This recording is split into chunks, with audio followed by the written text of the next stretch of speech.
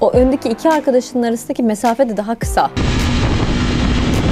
Olmuyor. Bence sürüş hırsına yenik düşüyorlar. Bu da çok fazla trafikte karşılaştığımız olaylardan bir tanesi. 30 kilometre ve altı süratlerde Ah ekipmanını almış olsaydı. quite a risk by overtaking such a. Tabii arkadaşımız bilinçli mi, bilinçsiz mi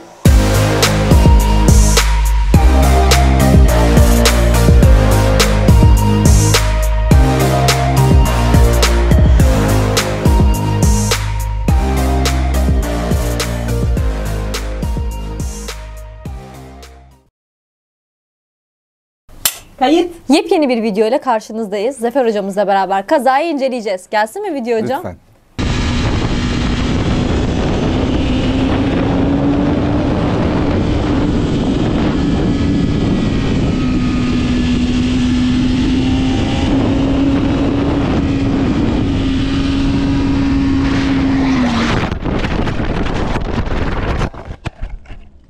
Bence olayın heyecanında yenik düşmektir. Burada tamamen bir zorlama var. Yani işte gözünün kararması e, ya da red mist hani gözünü kanla bürünmesi. Ama red mist olacak da bir şey yok Ya ki. olayın Hani- özeti burada bir sürüş hırsı var.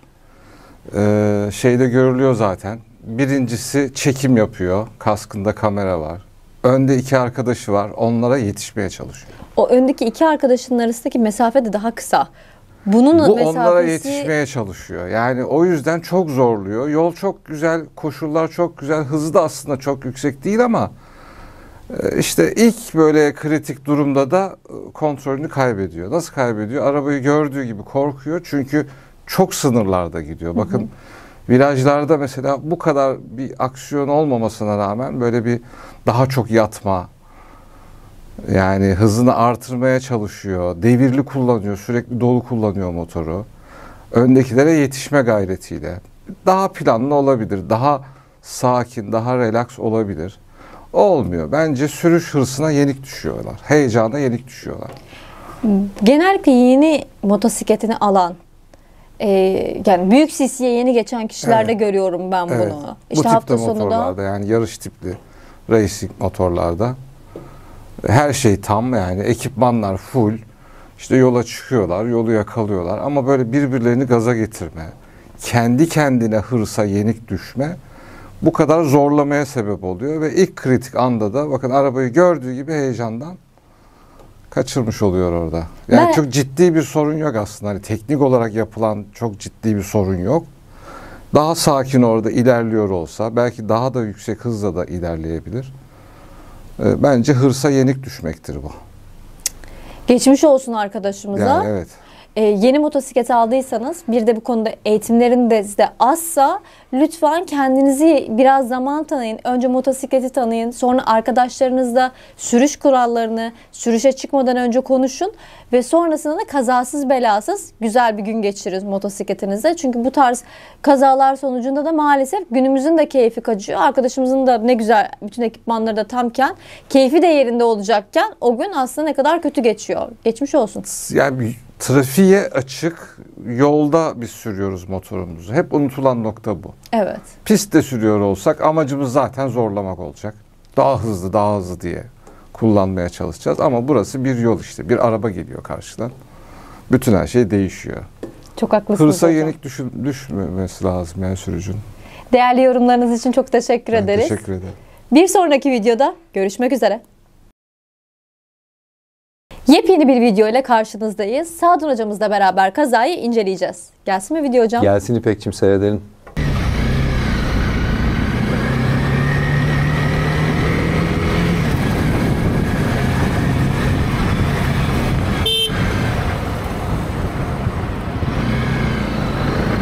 Ramakkala videosu olmuş.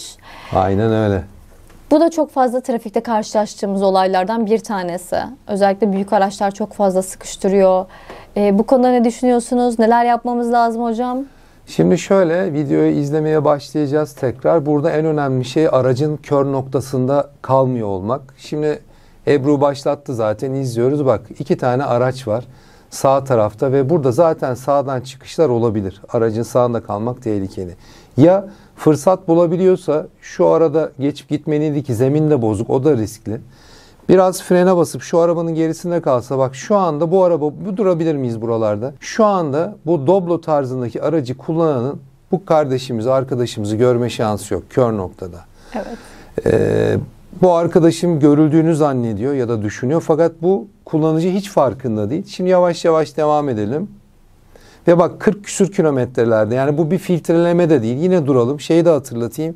Filtrelemenin kuralı neydi? Şehir içi trafikte 30 kilometre ve altı süratlerde yaptığımız bir, e, uyguladığımız bir yöntem ama filtreleme yaparken de zaten sağda kaldırım tarafından geçmek her zaman riskli. Sapaklar da var. Dolayısıyla ona da uymuyor. Devam edelim. Ve gördüğün gibi bu aracı gören, kullanan özür dilerim. Hiç görmediği için geçiyor çok doğal olarak. Arkadaşımız hakikaten ramakkala dediğimiz şekilde kazadan bir şekilde kurtuluyor. Ee, biraz daha önde olsaydı kazaya karışabilirdi. Bunu yapmamak için araçların kör noktasında kalmayalım, kendimizi gösterelim. Ne olacak? 3 saniye sonra gidelim. Biraz frene basalım, geride kalalım. O doblo geçsin. Mümkün olduğunda biz sollayıp onu bir şekilde devam eder gideriz. Sonuçta altımızdaki motosikletler arabalardan çok daha çabuk hızlanan, çok daha kıvrak e, cihazlar, makineler.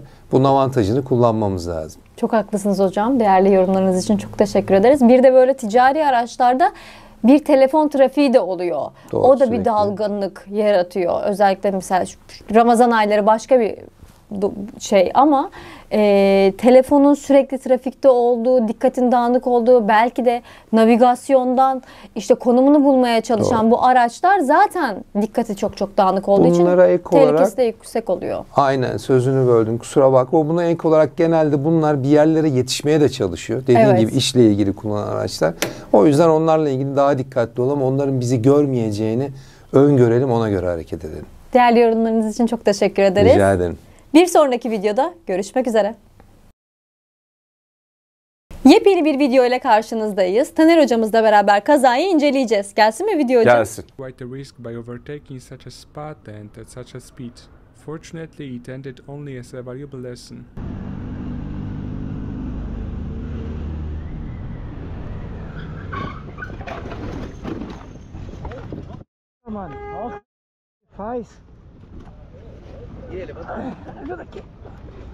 Şimdi burada bizim hep altını çizdiğimiz bir konu var. Eğer burası çift çizgiyse arkadaşlar Duvar. duvar. Evet. Çıkmıyoruz. Peki arkadaşımız ne yapıyor? Çıkıyor. Karşıdan araç geldiği halde mütemadiyen devam ediyor. Motosikletin küçüklük avantajını kullandığını zannediyor ama burası avantaj kullanılacak yer değil. Devam ediyor yoluna. Kesik kesik sollama yapılabileceğine dair çizgiler gelmeye başladı. Sonra tekrar o çizgilerin e, yanıltmasın sürücü arkadaşları katılım yolları olduğu için o çizgiler kesik kesik. Arkadaş hiç istifini bozmadan devam ediyor. Evet, katılım yollarından dolayı kesik kesik. Sonra katılım yolu bitince tekrar çift çizgiye döndü. Buralarda diyor sakın sollama yapmayın, karşı şeride çıkmayın.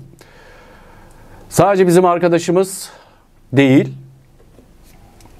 şu beyazlı araç da bu kuralı ihlal etme kararı verdi ve onu hayata geçirdi. Tabii arkadaşımız bilinçli mi, bilinçsiz mi yapıyor bu hareketi? Yani levhaları veya çizgileri takip ediyor mu? Nasıl olsa buraya çıkmak yasak diye mi düşünüyor? Biz hep ne diyoruz? Umulmayanı umum.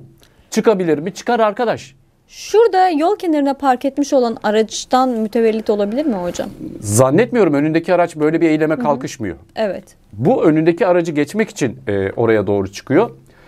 Tabii bizim dediğimiz başka bir şey daha var. Bir hızı değiştirmek zorundaysanız aynalar aynalarınızdan arkayı kontrol etmek durumundasınız hızınızı değiştirmek için. Arkadaş önüne aniden aniden araç çıkınca umum ummadığı şey karşısına çıkınca hızını değiştirmek zorunda kaldı. Oynatmaya devam edelim. Ah ekipmansızlıkta. Onu sonra değineceğim. Bak. Hızınızı değiştirmeden önce aynanızı kontrol etmezseniz bu gelir başınıza. Arkasında bir motorcu daha var. Ve o motorcu aynen bu arkadaşın da e, beyaz arabanın çıkacağını hesaplamadığı gibi bu da takip mesafesine uymayarak bu aracın yavaşlayabileceğini düşünmedi. Geldi arkadan çarptı. Devrilmelerinin sebebi o. Ne olsaydı olmazdı. Kurallara uysaydılar bunu yaşamayacaklardı. Kesinlikle. Ee, ve umulmayanı umsalardı. Araç madem çıktın oraya araç çıkabilir mi? Çıkabilir. Hızın e, değişebilir mi? Değişebilir. Ona göre takip mesafelerini bırakın. Hiçbirine uymuyorsunuz arkadaş ve başınıza bu geliyor. Senin değindiğin konuya değineceğim. Eh, ekipman da giyin artık ya. Evet. Ah ekipmanını almış olsaydı, sonra da gelip eğitimini almış olsaydı bunların hiçbiri yaşanmayacaktı. Ya ben sana çok açık bir şey söyleyeyim İpek? Evet. Ekipmanını giymeyen adam eğitime de ihtiyaç duymuyor. Bak o bu- zaten bilinçsizleşme yani bana bir şey olmaz diyen evet. adam grubuna giriyor. Ee, dolayısıyla onun eğitime de ihtiyacı var. Ona hiçbir şey olmuyor ama kaza videolarını yorumlarken dikkatini bir şey çekiyorsa genelde ekipman sorunu olan arkadaşları gözlemliyoruz. Evet. Maalesef. Maalesef hocam. Bu video için çok teşekkür ediyorum sana İpek. Bizler size çok teşekkür ediyoruz değerli yorumlarınız için e, ve verdiğiniz eğitimler için aynı şekilde. Bir sonraki videoda görüşmek üzere. Arkadaşlar herkese merhabalar. Bugünkü bölümümüzde daha önce e, yorumlarda sıkça sorduğunuz güvenlik balonu ile ilgili konuşuyor olacağız. Güvenlik balonu nedir? Yolun sağından ve solundan gelecek risklere eşit olmak, eşit mesafede olmak diye özetleyebiliriz. Yani şöyle düşünün. Yolun sağından gelecek bir risk ve solundan gelecek risk riske teğet olacak şekilde e, bir hayali çember çiziyorsunuz.